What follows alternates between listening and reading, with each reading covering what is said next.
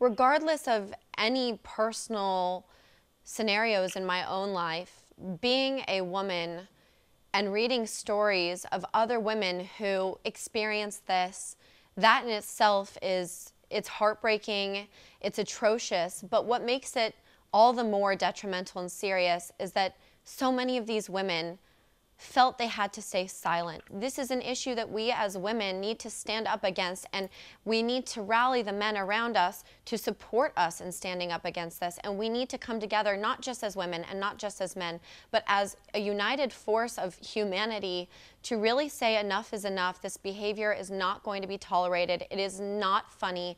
It is not a joke. It's extremely serious, and we have to we have to see it end now. And I think so many women in the past have, you know, looked over their shoulder and and been scared of being judged by, you know, people of power or what people would say. And I think there's a lot of men as well who are probably reevaluating what they've done in the past. And I think this is a time for us to all come together and say, let's be better in the future. Let's do our part to create change.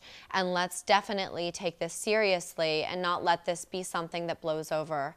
Um, it's a very important matter and something that will be incredibly important for our future um, and for the next generation.